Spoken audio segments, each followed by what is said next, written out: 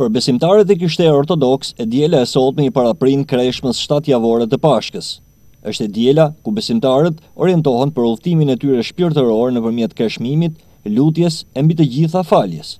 Kjo këmbgulje e kishës për t'u referuar mënyrës dhe domethënies së kreshmës është e bazuar në rreziqet që i dalin besimtarit gjatë kësaj periudhe. Këto rreziqe janë egoizmi, pra konsiderimi i kreshmës si një arritje personale e besimtarit dhe jo si një përpjekje me ndihmën e hirit të Perëndisë.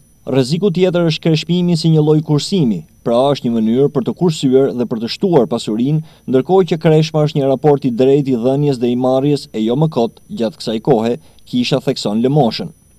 Madje lëmoshën nuk e konsideron thjesht si një dhënie, por si një ofrim.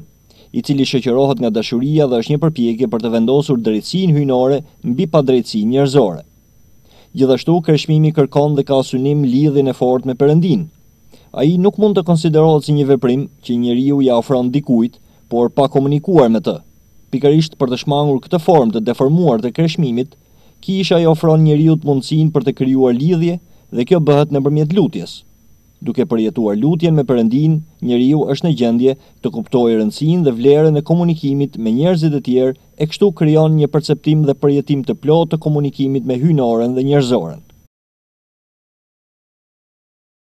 Ndërkohë, besimtarët e krishterë katolikë kanë kremtuar sot ditën e Fronit të Shën Pjetrit.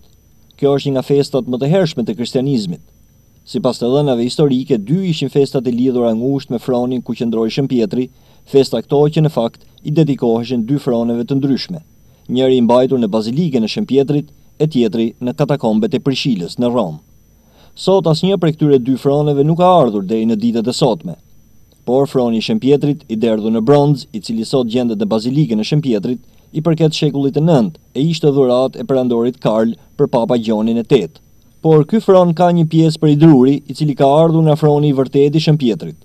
Për besimtarët e krishterë katolikë, Shën Pjetri, i cili ka qenë një nga dymbëdhjetë dishepujt e Krishtit, ishte dhe papa i parë i Kishës Katolike, e froni presupozon edhe autoritetin bashkues të Kishës për të gjithë besimtarët.